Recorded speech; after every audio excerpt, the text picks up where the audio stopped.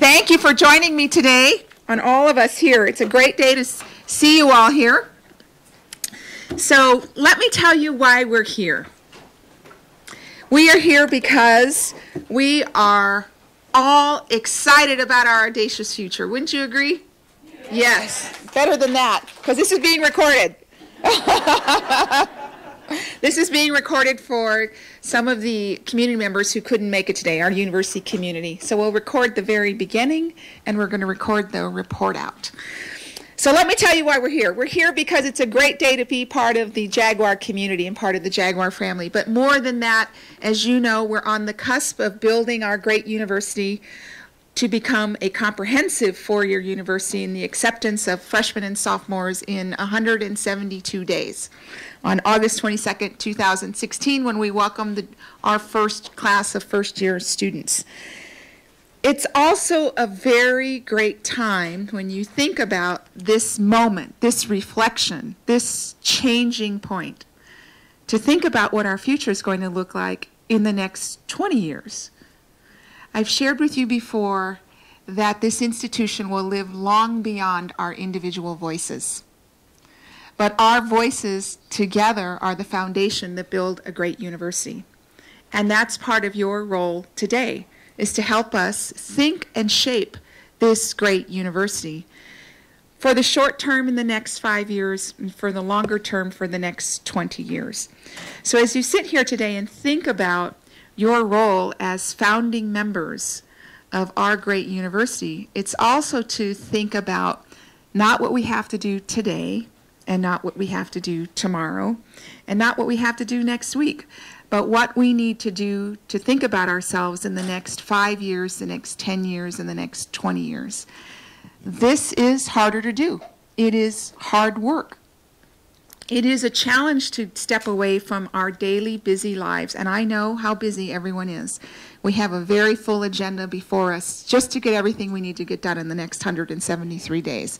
So I'm asking you today to take this uh, two hours that we have, two and a half hours together, and put that aside for the next 120 minutes or so and think about our future in a very audacious way. And to remember that there are some things that we are building here that we don't want to lose. And part of that is our agility and our ability to be responsive. My challenge for you today is to think about creating our mission, vision, value statement. And I encourage you to think about the documents that we have had before us and keep the best of what's working. And let's look at what we think about for our future and add those next best thoughts, your next best thoughts, into that system so that we can integrate that into our future. We have an entire uh, campus community invitation today here for the town hall, and you're going to hear more about this process. Through an RFP process, thank you, JJ, and your team, we selected a group of consultants to help us think through this. And I felt it was a, such an important opportunity for us that we wanted to bring in outside expertise, not to do the work for us, but to help us think through how to do the work in an organized, methodical way so that we have an end product that we've all developed and created together that we know has helped us shape our future so that we don't get caught by our own blind spots or our own thinking that might be narrow. When we're asking everyone here to have a very wide lens about our future. And this is hard to do. So I felt it was important that we bring in outside expertise. I also felt it was important that we have a community-wide strategic planning committee. So I'm going to ask those members of the strategic planning committee who happen to be in the room today to please stand for a moment. If you could stand if you're on the strategic planning committee. So you see we have a good representation of individuals from around the university community. They were selected for a broad variety of reasons, but one of them is that they represent a wide Go ahead and take your seats. They represent a wide uh, voice across the university community. So there are faculty, there are staff, the governance groups, and our student body leadership. And this three days, we're in day two of the three days. It feels longer. We're in day two of a three day process that includes a wide range of community leaders coming together. We've had external community members, we've had the University Advisory Board, the stakeholder groups, the Strategic Planning Committee, today a large town hall, tomorrow a meeting with superintendents and local constituents, the military groups, and a large student body forum. So it's intended to be as participatory as it can be. But it only works if you come together in these types of settings in the town hall to really lend not only the voice but the laboring oar of what it will take for us as we think about moving forward. A couple of things that I would leave you with before I introduce our, our consulting team is there are some important elements of what we've been talking about over the last 13 months since I've arrived here that I don't want you to abandon. So when you think about our great future and you think about a blank slate, that is important. But there are some things we don't want to lose. And one of those elements, in my view, is, is building this and becoming a national model for student and academic success. We've been talking about this. We've talked to the legislature about this. It's a large part of why we're being funded. And trust me, and you'll see this in the data, that every stakeholder group that we've talked to has not used those words, but have used words about the opportunity we have for success with the student population that we serve, and that this is an important element of what everyone in the country is trying to do. You've heard me say that before, and it was validated again in the last 24 hours by a multitude of groups. But I want you to think even bigger than that when you think about how does that national model look like. A couple of other things that you've heard me say repeatedly that I want to help you to think about as you shape your own thinking is that there are a couple of things that we do here that uh, no one else does, and that is to embrace the excellence of A&M. Texas A&M is in our name because we are part of this incredible system that exists that is recognizable internationally. Don't forget that the Texas A&M brand and the Texas A&M family is integral to what we are and who we are. So as you think about our future, don't lose sight of Texas A&M excellence and how we leverage that. The other challenge I would leave you with is think hard about our geography. We're going to ask you lots of questions about where do we fit in the marketplace? Where do we fit in a crowded marketplace in San Antonio? It's a great opportunity. There are some elements that you will be challenged to define that we have here at Texas A&M San Antonio that no one else really in the state has, but certainly not in San Antonio. You will be challenged to think about those elements. When I talk about it simplistically in the community, I talk about leveraging the A&M excellence, leveraging our geography, leveraging all of the student success opportunities that we have here that may not necessarily exist somewhere else. You have many more ideas than I do. I don't have the corner on great ideas. So we need to work together on this ideation phase, which is what today is all about, to help us move forward in this process. So with that as an entree, I'm going to introduce uh, Dr. John Welty and Dr. Jolene Koester to step forward and describe to us how they see us moving forward and certainly introduce themselves, give you a little bit of their background and why we selected AASCU Penson Group in moving us forward. So, I turn the floor over to you. Thank you very much. And uh, thank you for the opportunity to uh, be with you uh, and to uh, serve the university community. Uh, first, let me talk just a little bit about uh, um, my background very briefly. I've been in public higher education all my life president of Indiana University of Pennsylvania for seven years, president of Fresno State in California for 22 years, at uh, New York, Min Michigan, and Minnesota prior to that. So uh, I retired two and a half years ago, and now I'm working with the AASCU Penson Center for Professional Development uh, and projects like this and other activities in public universities across the country. Let me introduce my uh, colleague, Dr. Jolene Koester, will tell you a little bit about her. Good morning, everyone. I too am really pleased to be here, and I must say I've picked up a lot of the excitement that all of you have for this university, and certainly with all of the time we've spent with folks in the external community. There is um, just a lot of really passionate thought and attachment to this university already. As Dr. Welty said, I too have spent my professional career in public higher education. I started as a faculty member a long time ago uh, and uh, became a department chair and then an, an, an interim assistant vice president for academic affairs. You know, I did all of those things. Became a chief academic officer and closed out my career serving as 11 and a half years as president of California State University Northridge, which is in the Los Angeles area, about 25 miles north of LAX. I retired before John did. He had to retire after I did, I think, so because we used to sit next to each other at Board of Trustees meetings. Uh, I retired four years ago and quickly became involved in the AASCU Penson Center, uh, consulting with other university presidents on a variety of topics, but doing a lot of this work in helping universities set a strategic focus, a strategic direction.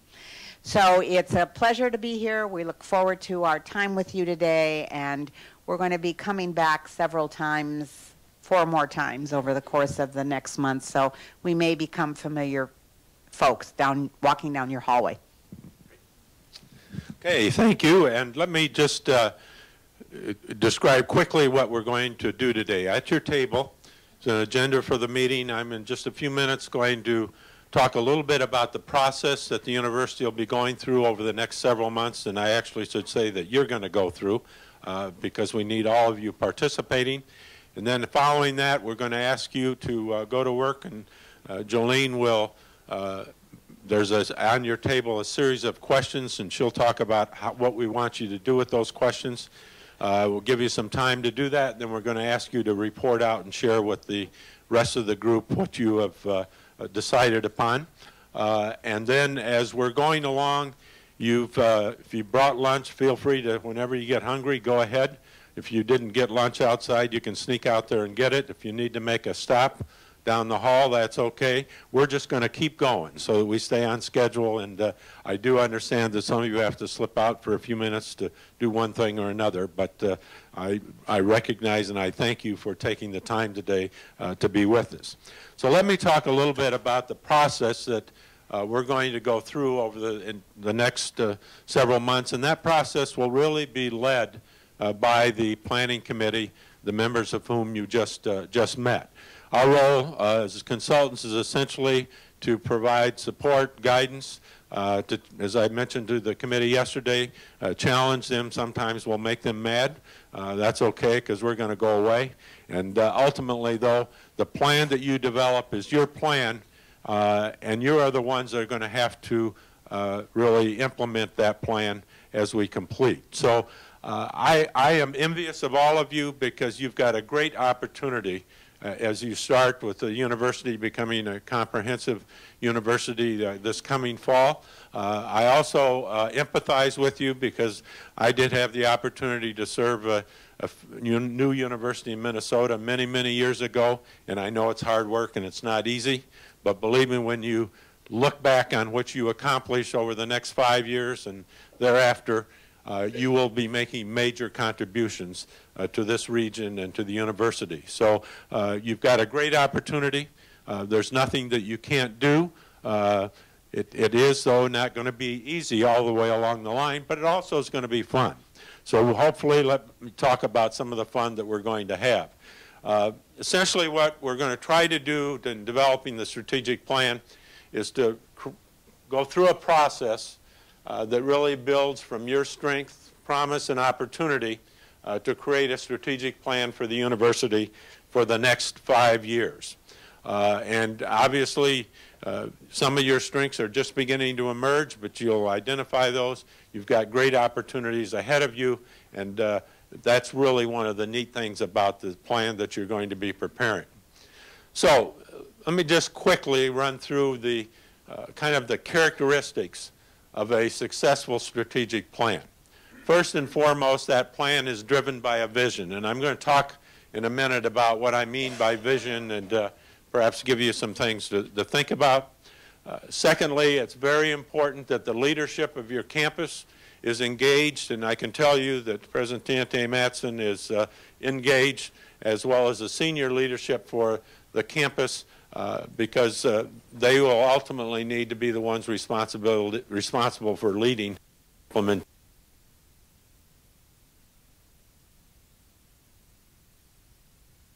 So you've got some things to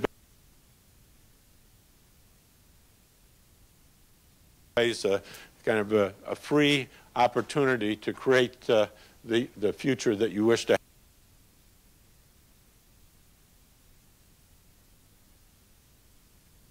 Specifically, there are going to be opportunities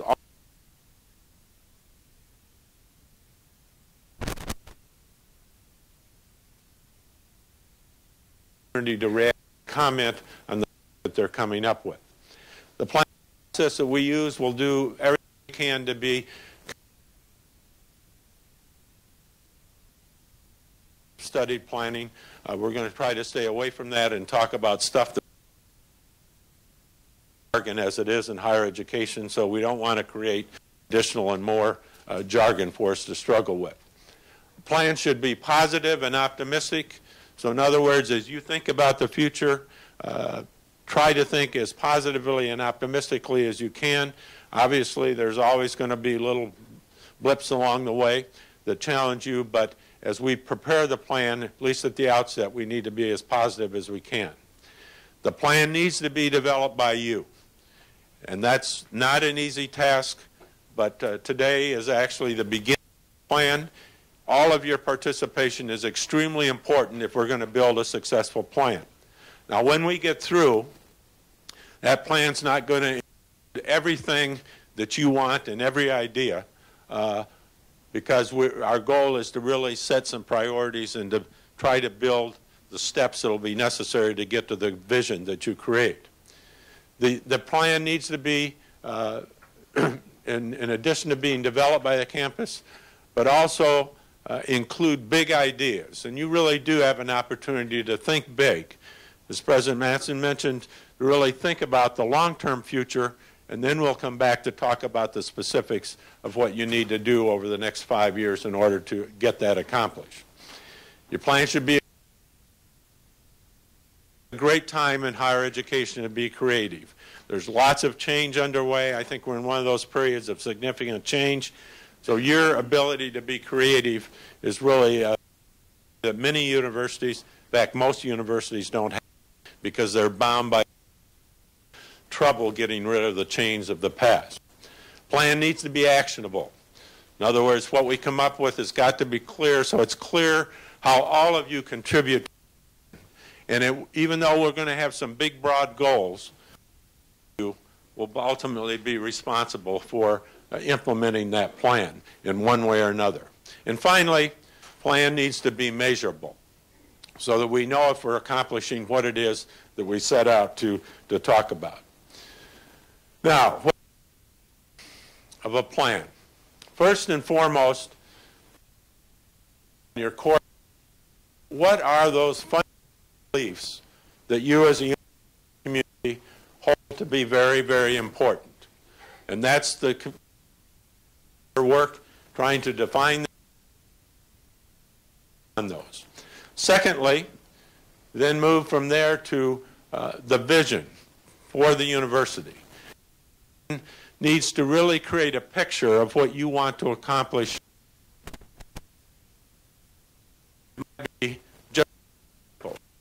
You're going to seek to become or you're going to seek to overthrow College Station, or you're going to become an engaged university serving the, the San Antonio region that transforms student lives, or you're going to become a polytechnic university that changes the future of this region. Those are all some examples of what a vision might be. They're not intended to be the vision you're going to come up with, but simply an example of what your vision and the kind of vision that you need to think about painting that big dream that you have for the future. Then from there we move to actually the vision or the mission for the campus. And that mission needs to answer four questions. Who are we? What do we do? Who do we serve? And very importantly, how are we different? So those, that mission statement that the committee works on is going to seek to answer those questions. A very important part of that will be how do you want to be different from other universities because it will be important if you're going to distinguish yourself uh, in, in the future.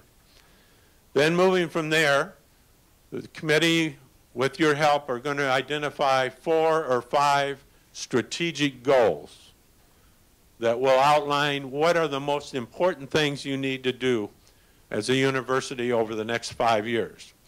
Now let me caution you that in those goals, everything that every part of the university probably won't be included. And there's a natural tendency to say if my office or my area is not included, this plan's no good. That's not true. These goals need to cut through the university, be broad things that everybody will work on. President Matson has mentioned academic and student success to becoming a national model. I'm not what you're going to put in your plan, but I would guess that may be goals that emerges in some process. But that is an example of a goal, and in order to be a national model area, every area of the university is going to have to contribute. Some more than others, but everyone will have to contribute.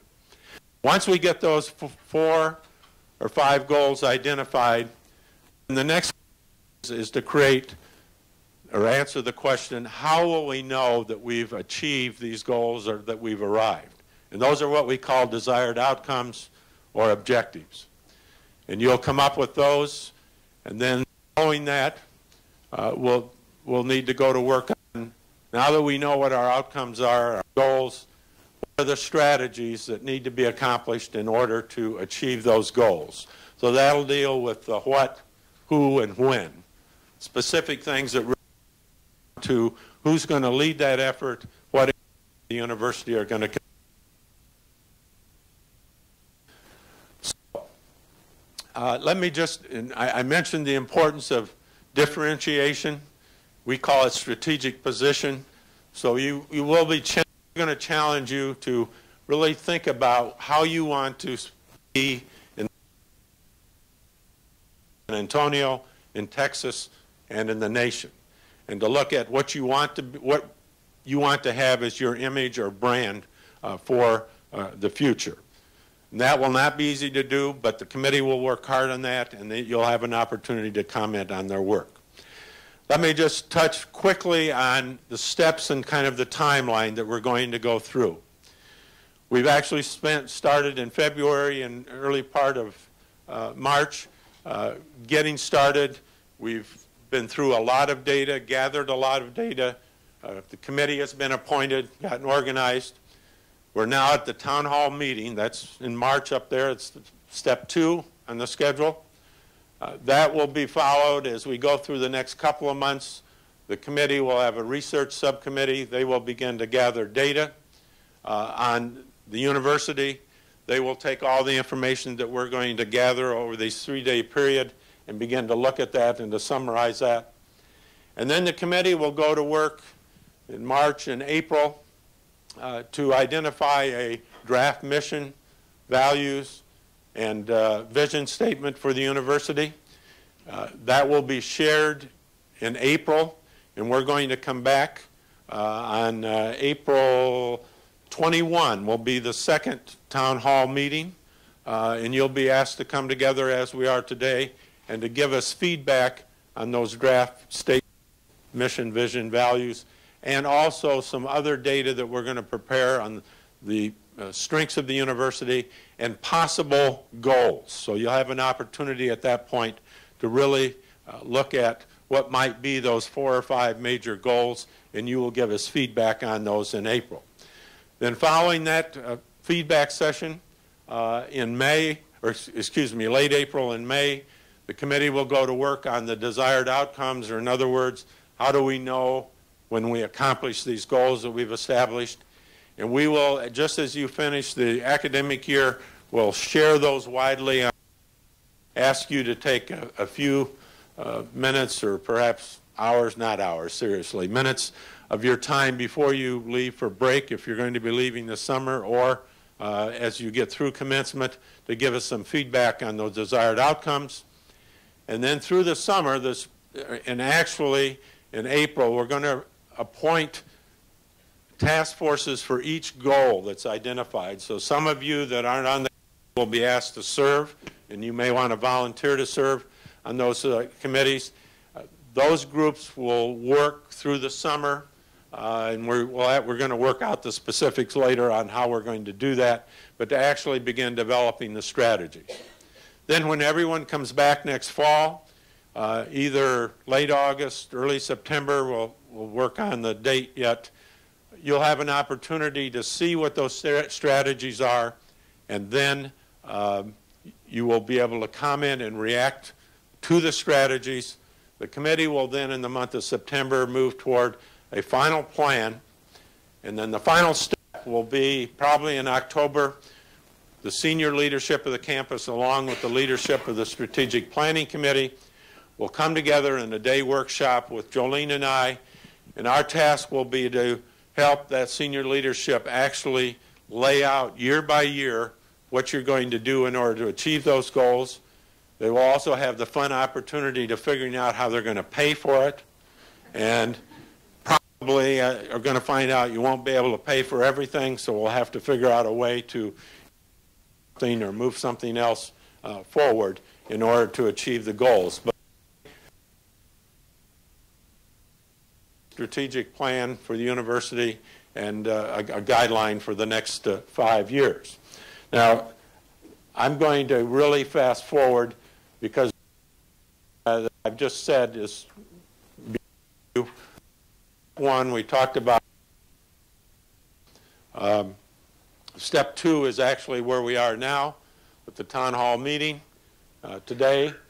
We, as I mentioned, will move to step three, uh, and that is will be research a research committee that'll actually gather all the data, make some sense. It'll go on the web, on the site. And I should mention that that uh, website will be sent to you so that you, anywhere along the line, you can access the data that the committee is working with. And uh, you'll have an opportunity if you want to send something to the committee to let them know what you're thinking you can do that. Then as we move into April, as I said, we'll have the next town hall where you have the opportunity to react to the draft vision, mission, and goals. And then uh, at that town hall meeting, we'll take the data that you generate and, uh, as I said, create cross-departmental task forces around each four or five goals. And those task forces will then go to work on actually determining what the desired outcomes. This slide just simply checks off where things will be at that point. We'll be coming up on uh, the month of May and at that point, we'll begin working on the desired outcomes or establishing the targets, and each of the task forces will be responsible. As an example, if you create a, uh, a task force, a goal around enrollment growth or student success, uh, probably some of those desired outcomes will be increase enrollment by X number of students by the year 2021, or uh, increase the graduation, or not increase, uh, create a graduation rate of 85%. How's that sound? That's a, probably a big stretch, but uh, that's an example of a desired outcome that you may uh, create. Or you may have a goal around funding, and that will actually spell out we seek to generate X amount of dollars from various sources. We'll publish those desired outcomes, as I said, in May. And at the same time, we will start talking with the budget folks about the dollars that will be generated. For example, if you increase enrollment, that will increase revenue, uh, but we'll actually been, begin putting together the revenues that will be available to achieve some of the desired outcomes. And then at that point, we will have gotten all the way through to the desired outcomes and we'll be ready, as I mentioned, to come up on strategies. And that will be Uh, The next step that during the summer, we'll work on those strategies through the uh, task forces that'll be actually working uh, on them. And again, as I mentioned, we'll be emphasizing big ideas uh, that work across organizational lines. Because if a plan's going to be successful, everybody's got to contribute in one way or another, uh, whether it's uh, someone that keeps this campus looking beautiful, uh, all the way to those who will actually work with students advising them if it's related to a student's, student success goal, for example. Third town hall meeting, as I mentioned, will be in August, and at that point, we'll share the strategies, and you'll have an opportunity to react to those strategies, uh, and then we'll move to actually the review phase of the faculty senate, uh, all of the other uh, processes that you as a university community use in your shared governance to actually review uh, that plan. The plan, the final draft plan will go then from the committee uh, to President Teniente-Matson, and uh, that plan then she will approve after the, any consultation she has to have with the chancellor of the regents, and you will be ready to, as I said, go and actually get into the stakeholders meeting, which will be held in October, and actually get into the actual uh, year by year implementation strategies and the cost for doing that. So once we get to that point uh, this fall, we'll be into the nitty gritty of actually putting the plan together. Most likely your plan will be on the web uh, so that it can be modified as you go forward, uh, but you'll probably come up with some type of a PR piece that everyone can carry around and keep in their pockets so everyone remembers what that plan is. And then there will be the process of formal approval by the regents. And then ideally, you'll have one big party or celebration. Uh, and believe me, that I know the committee is going to be ready, and you probably will be ready too by the time you get to that point, but it really will be an opportunity to celebrate the great work you've done as a university community. And then once you have that celebration, it's time to go to work. And the important thing about the plan is that every year uh, there's a review of the progress you're making on the plan that's shared broadly with the university community so that you have an opportunity to uh, see the progress, but also there's nothing perfect in a plan. You're probably going to have to modify it a little bit along the way. So every year you have that opportunity to make those adjustments. So that very briefly and very quickly is the process that we plan to go through over the next several months that you're going to go through. Uh, let me stop and see if anyone has any questions or comments before uh, we put you to work. Questions? Comments?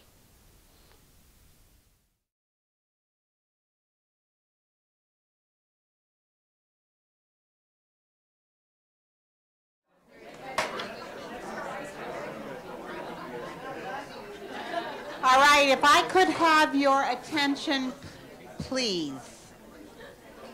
The way we're going to do this is I'm going to ask the tab, the three tables that had question number one to report out. Then we'll go to two, I'm sure that's shocking to you. and question three, and question four, and question five. A couple of things that I would request of you. One is we're going to bring a microphone to your table so that the person reporting out will use the microphone. It will need a little bit of time to get around the room from to so that we can get to each of the tables. Please just report your main ideas. In other words, be succinct if you can. Uh, get the get the main points. If you are a second or a third table on a question and you have the same idea as has already been reported, let us know that, but you don't need to restate it all. All right? And if you do, we will forgive you and appreciate your ideas. All right? Then what we're going to do is John is going to go to each table after you have reported and he's going to take your full set of notes. so that we're sure to get them. In other words, we're not letting you leave the room without your ideas on the paper for us to be able to feed back to the steering committee. Okay? All right, now there are three tables that had question one. Would somebody at each of those tables raise their hands? Okay, here, here, and here. So let's start over here. And, you know, why don't you tell everybody your name? I, I think everybody, I don't know if everybody knows you, but tell, tell us your name. Okay. Tess, can you hear me? Oh, cool. Uh, my name's Jacqueline. I work down the hall in the marketing department. And we had question number one. In 2024, TAMU says 15th anniversary, ideally, what would you like the university to be like? We would like to see enrollment at 25,000. We would like to have a Division One athletic team with an athletic complex. We'd definitely like a Starbucks on campus. We would like to be known to have a Tier 1 research university. We would like a standalone ROTC program. And we'd like to be known for science and technology specialties. Um, in addition, we'd like a more engaged and robust campus life, a standalone library, along with other facilities so, to support the students and to maintain plenty of parking. Thank you. All right, let's, let's go to this table here, right? Go ahead, please. Tell us. We'll see, hopefully. Here, just stand here so that I you. to stand- I need Yeah, stand. I'm going to make you come up front with me. Hey, everyone. Uh, my name is Art. Uh, so some of the things that we feel that the university will have developed by 2024, something that I called modern traditions. Uh, they'd be in the light of the A&M system, but they're going to have our own San Antonio flair. Um, the growth, the recent and ongoing in the way of the academic programs, the graduate degrees, and of course, advanced facilities. We want to have a diversified student life with inclusive programming and, of course, the competitive athletics that was mentioned before. Uh, an advanced, seamless student admission process, meaning we want to be the model that when a student gets onboarded through their matriculation, that other schools are coming to look to us at to say, how are y'all doing that? How can we do that here? We feel like we can, we can be a groundbreaker in that one. We want to have the most marketable graduates in the state so that when employers will see the A&M San Antonio degree, they're already going to know that this, this, student, this, this person is ready to go. They're ready to be in whichever field that we can pick. We think that's pretty audacious. And of course, we want to have a mo- we want to be the model for technological advancement. Okay, we want to be try to be on that cutting edge, and whatever it takes, whether it is something that is uh, that we're having just on our campus or things that we're we're producing for the world. We're hoping that that's something we can accomplish. Thank you. All right, the last table that had this question. Great. For question number one, I'm Eric Lopez, Dean of the College of Education and Human Development. Um, had similar responses as well, so we're not going to repeat those. But uh, lab schools was uh, one suggestion. Be the go-to university, uh, daycare center on campus, uh, legacy uh, for community and alumni, and further development of partnerships with community and community colleges. Great, great. All right, those are great characteristics. I'll just say that they're uh, pretty congruent with much that we've heard from your external community, so that's great. That's great. All right, which are the, I gave question number two to two tables. I know that table over there, right? And that's not yours? Oh, four. Oh. All right, you have two, and who else has two? All right, let's do two here. Yeah, come up to the front so that you don't have to stand with your back to some of your colleagues. Besides, it's lonely up here. Okay, well, question number two, we had kind of a, a list of information for our table. Um, I'm going to start off with uh, the most diverse, inclusive university in the nation, um, along with different types of schools, uh, law school, nursing program, STEM, cybersecurity, uh, and being highly prestigious in these uh, schools as well.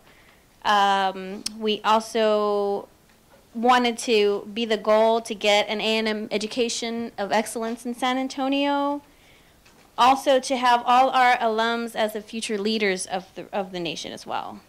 Um, and then being the highest graduate sought after into their fields, and also to get some professional development for students, students faculty, and students. And then lastly, we had um, a grander international experience for students, uh, local and outside of the nation as well. And that's pretty much all we have. Thank you. Thank you.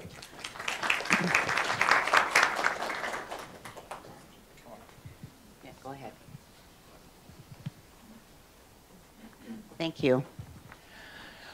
As our group talked about what we'd like to be able to say but can't right now, it would really be this idea that students who come here feel connected, that we are part of family. Um, and so it's perhaps a little different focus than what we've heard, but the ways that we would go about accomplishing that is really by making ourselves the anchor within the community that links students, the businesses, everyone who's here within San Antonio, that we become the anchor that everyone ties to. Now, um, some of the other ways that we would go about that is by having really high quality experiential learning opportunities where students are getting excellent mentorship within that community. That's a part of that process of anchoring, that they're out there receiving that experiential learning, but then they're also, when they graduate, they have the knowledge and skills so that they're going out to get employed in the community, that they're staying here because they're marketable within our communities. We want quality teaching to be a priority. We want to know our students, and we want to know our students while they're here and beyond. Um, and I think that was really critical. And alumni ties was something that was talked about, and that's that knowing our students beyond. Even once they leave, there are very strong alumni ties here at this university. Great. Give those tables a hand. All right. Uh, tables that have question three. Would somebody at these tables raise your hand so that we know where you are? Okay, let's start over here. We're, let us get the mic to you, please. Your beautiful scarf. Oh, thank you. All right, good morning or afternoon, maybe right now. Um, my name is Ashley Spicer Runnels, and I'm the Assistant Vice President for University College. Um, our question was well, it's number three, and essentially, there's a donor, and we want to pitch an idea to that donor. And so, our table had a lot of different ideas. Um, one would be uh, having them sponsor or donate money for a library or university center. Um, also, leadership development type scholarships that would be inclusive to all students. So, we talked about looking beyond just those top 10 students, but those mid range students that may need that extra support who don't necessarily qualify for financial aid. Um, faculty and or chair endowments to lead programs. Um, pay students to become fully engaged on campus. And so instead of having them work as student workers or even work off campus, having them commit to taking that 15 hours and getting involved in other um, ways on campus. Um, also, research opportunities for undergraduate students, um, partnering with companies to provide internships uh, so those students could be workforce ready when they graduate. Um, also, hiring an ADA officer to ensure that our campus is accessible to students and that we're a leader in that way. Um, and then two more things real fast. Um, building a program that has an emphasis on technology and or terrorism. There's more conversation behind that, but essentially using that avenue and then housing different disciplines and different programs underneath that so that we can become a leader and make that a niche for our institution. And then the final idea, final one, is uh, we've been talking a lot about the national um, model for student success or academic and student success. And so really defining that and then potentially creating a central office here on campus where our faculty and staff would serve as consultants um, and we would be the hub for that actual national model. Thank you. Thank you. Great ideas. How about, there was a, there's a table over here. Yes.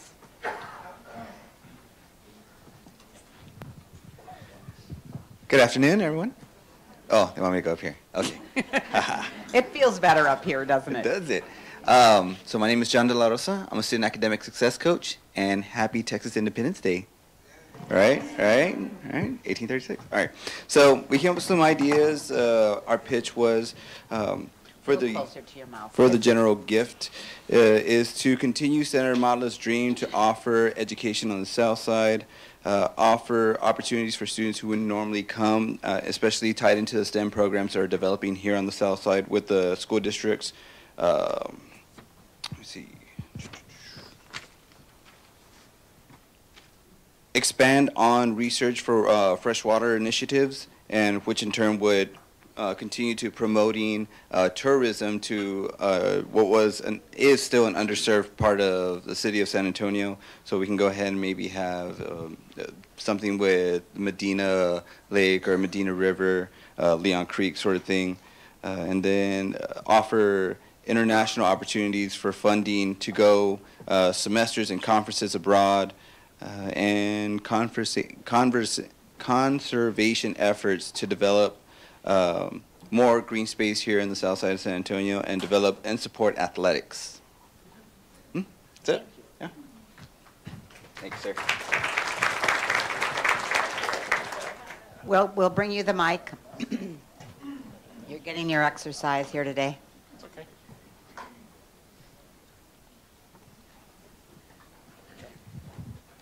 Hi, everyone. Um, Jack Ayers, faculty in English. Um, there's going to be some overlap uh, with the other two tables um, for sure, but I think that's a good thing. Um, our recommendations for a hypothetical donor fall into three broad categories. Uh, the first category would be um, opportunities to sort of expand uh, and continue the identity that we've established now. So, um, opportunities to um, further develop our military embracing uh, identity, expand the Patriots CASA and those programs, build a family center uh, that would serve non traditional students. Um, there's just a couple of examples. The second category would be um, programs and centers, initiatives that are currently under discussion. So, um, uh, obviously, the water sustainability program. There have been talks about having an affiliation with charter school, um, and then also uh, discussions about a Center for Reconciliation and Remembrance, um, cybersecurity plans. So support for um, all of the various initiatives that um, uh, that have been identified. And then third, um, the third uh, category would be really sort of foundational areas, um, and these are some that, that have been mentioned before, but um, getting that infrastructure buildings, we talked about uh, a library, a, a physical library, um, and certainly there would be appeal for donors to have a library named after them, um, an honors college, and then also uh, endowed chairs. Great. Thank you very much. The tables that are going to report on question number four, please. Can you just raise your hands so that we can see where you are? There's one, there's one, and I, are, there, are there only two? I thought there were three. Ah, okay. Let's go right here. I'm sorry. You were there. I shouldn't have sent you over, but good. In order to become a national model for student and academic success, what are the three most important things we must do in the All- next five years? All right, years? so we're a table full of business uh, professors, so we're very analytical. Uh, The first thing that we uh, felt was important to do was develop a framework for assessment and definition of what academic and student success is. Um, We've had, we've seen some numbers, um, uh, we've heard some numbers that have been thrown around, but exactly what success is and how that's defined by different groups is, is an important um, part of that, that framework that we need to do. Um, the second one is provide ac- an academic, uh, comprehensive student services, um, whether that be uh, tutoring or um, all kinds of things that you can, and whether that's, uh, that- I think that also probably deals with things like athletics and uh, just a whole student student life. Um, and then lastly, um, our idea was we need a full, comprehensive um, faculty support and de- professional development um, center to make sure that um, our faculty are up on the the um, uh, most current research, uh, best practices for achieving student success Thank and you. academic success. Thank you. Thank you. Then we'll go over here.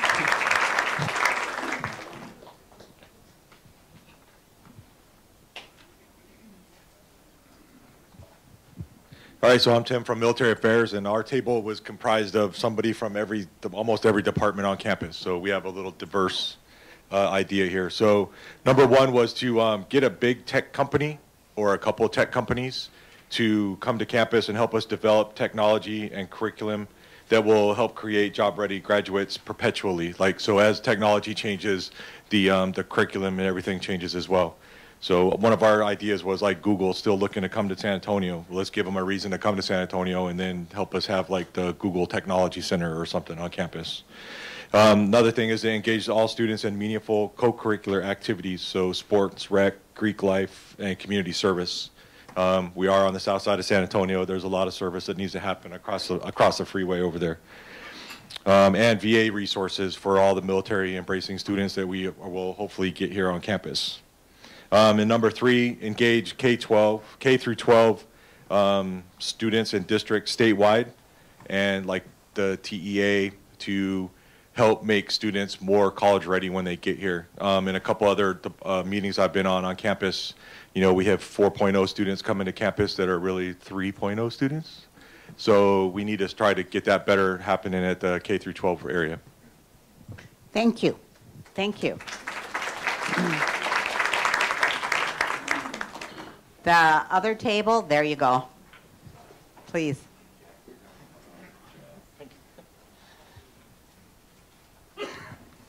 Good afternoon. I'm Lloyd Butler from Payroll Services, if most of y'all know that. But, um, hi, Dr. Matson. How are you? Good. I'm really feeling the pressure right now. um, we had question number four, and we, to echo what Dr. Hurley said, I think our table and that table were on the same brain wavelengths. Yeah, we, we were watching each other. Um, increase graduation rates without sacrificing academic quality. Serving the student holistically, academically, career and professionally, psychologically and emotionally. Um, being responsible for success from pre-enrollment to post-graduation. And conduct appropriate assessment and research to identify and document areas of student success. So that's what we have for question number four. Thank you very much. All right, question number five, which could go on and on and on and on, but nevertheless, there are two tables that have question number five. They are back there and back there. Okay, let's start with you, please.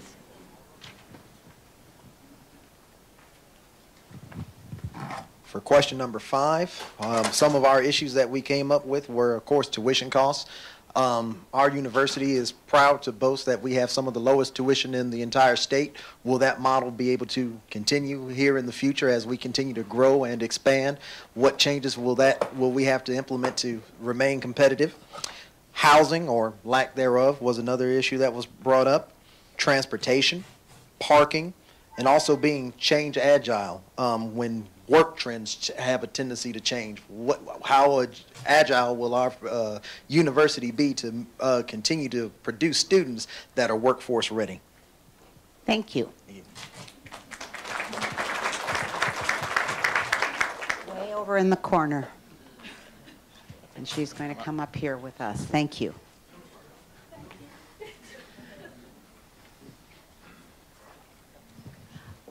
Hi, I'm Cheryl LeGras, the Director of Student Activities. And so a lot of our comments echo some of the things that have been said in the other four questions as well. So we looked at aging population and how are we dealing with having older individuals around and how are we adjusting to that. And that included student enrollment, the fact that people are coming back for second careers, and how are we making our university in a position to deal with the second career um, individuals that are coming back. Um, single parents, which has already been spoken about a little bit, and childcare. So how are we handling that as one of our challenges?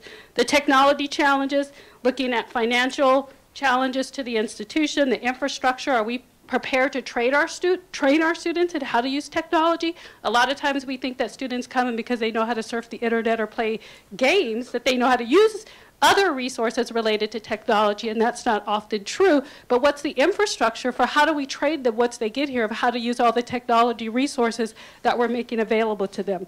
Military population was already been spoken of, um, globalizing, and San Antonio becoming a more global city. And so, how do we adjust to be a university that responds to the global demands of the city? And then finally, our other competitors here in San Antonio, including UTSA. Thank you. So let me just make a, a side comment. I've never done this where every table did it, every reporter did it succinctly and fast before. So give yourself a round of applause. I, I I think this is the seventh strategic plan that I've worked on. So, I mean, give yourself another round of applause. I mean, this is really amazing. So, great ideas, everyone.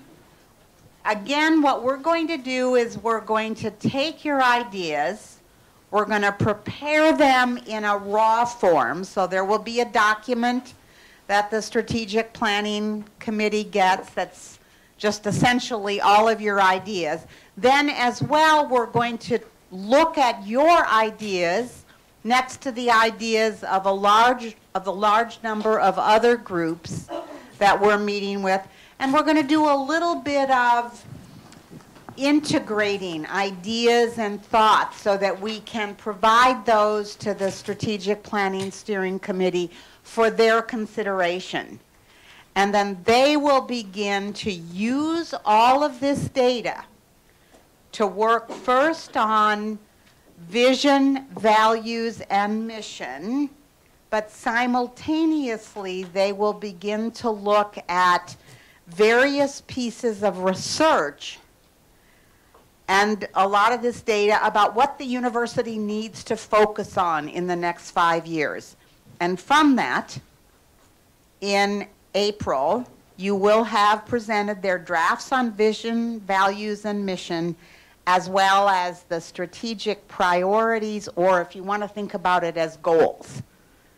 So uh, the next time we're together, you will have drafts from the Strategic Planning Steering Committee in those areas. So I thank you very much. President Matson.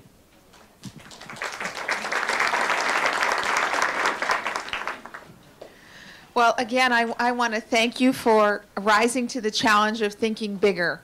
There are definitely some audacious ideas that were presented across all the tables, and the, I can tell the conversation was filled with uh, buzz and energy.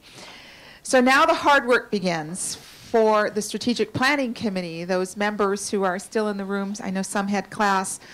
Uh, this is a, a big opportunity for us. And as I mentioned earlier, I've had the opportunity to hear from external community citizens pretty much all most of the day yesterday and this morning. So a lot of what we're talking about in your lens is aligned with some of what we're hearing from the community members. The big mission for the Strategic Planning Committee, however, is really to define our niche and to take all of this information and really begin to define what is our niche in San Antonio, in Texas, in the world, and how do we put all of our big ideas and, and even some that may not have been mentioned today to the forefront so that we as community citizens, university citizens, understand our roles. I think we have a very clear understanding of our responsibilities to graduate students. But there are a lot of students coming to us in the state of Texas, really around the country, but in our state in particular, that are coming from homes of poverty. We know this will continue to be an issue, and we know that we are doing this well now. We need to be doing it great to serve the students in the quantities in which they are coming. And the Texas Coordinating Board has very strong data around this metric, around this demographic, and what it will mean to institutions like ours where many of your ideas that you expressed and reflected on about uh, people coming to us to study how we're doing this, that we have, forgot which group it was, it talked about this, comp- it was right here, arts group, it talked about that comprehensive um, center for how a student comes onto the campus and how they leave, and that others are coming here to look at that. A lot of those types of ideas will involve serving this unique population that we serve. And those are really important life changing missions that we're doing here. So I'm excited. I'm excited about the idea as we look out the window as we leave here to think about uh, fields and courts where our athletic programs will be participating. Great ideas. Uh, and we, we're already seeing the remnants of that outside with the uh, playfield that's been created in the last few weeks. So things, you're right, will move fast but we need to make sure they move fast and strategically and in alignment with what we're trying to do. And so it's conversations like this that start to move us in that direction. The hard work begins when we see each other in April. It'll even be more uh, comprehensive as we look at a first cut of mission, vision, values, and, and the first draft of goals to help us keep moving forward. So I thank you for your good ideas. I thank you for your uh, positive energy and your commitment to our students and your commitment to our university. So have a wonderful day. Um, Dr. Welty and Dr. Koester will be here if there are any questions. They have other meetings scheduled throughout the rest of the day. There will be a website up, as was referred to many times, and I'll make sure NON gets that out as part of the communication strategy so that you can all be engaged in the process as we move forward in a very quick pace. So thank you very much. Have a great afternoon.